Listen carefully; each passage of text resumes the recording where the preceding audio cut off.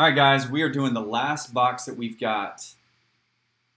Actually, next to last box. We got one more of this coming up this week. But this is uh, Series 3 for autographed baseball jersey, box 65 out of 100. So you've got some huge names that are in this.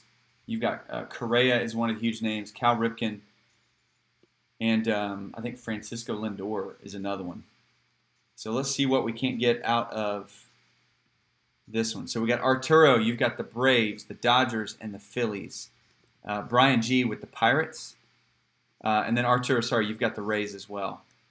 Uh, Chad C with the Cardinals. Earl, you've got the Brewers. Jeff H with the Royals. Jeff M with the Indians. John H, you've got the Tigers. John W with the Rockies and Rangers. Uh, Joseph P, you've got the Red Sox, Reds, and Nationals. Jesse P with the White Sox.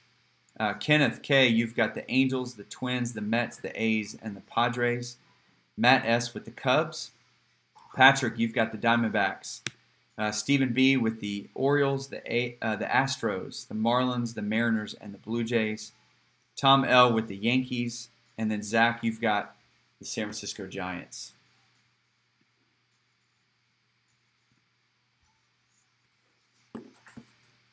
All right, 65 out of 100. Last box I've got of Series 3 is going to be ending on Thursday night, and we'll break it Friday. And then, as I mentioned before, we won't be breaking next weekend. So Thursday night, Friday are the breaks for this coming week. And then we'll be back to our Saturday, Sunday night schedule the following week.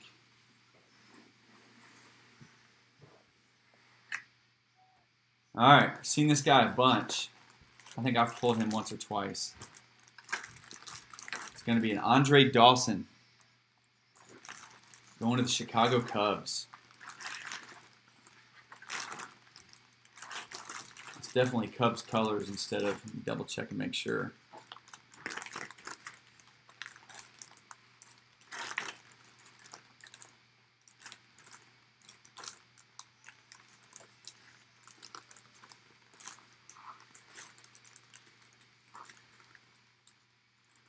Well, yeah. Yeah, got the big Cub C right there. So now I'll just jack this thing up. So I'll get that folded back up for you. So the Cubbies is going to Matt S. So Matt, congratulations, man. Nice Andre Dawson jersey. I'll fold that up nice and neat and then get that in the mail to you tomorrow.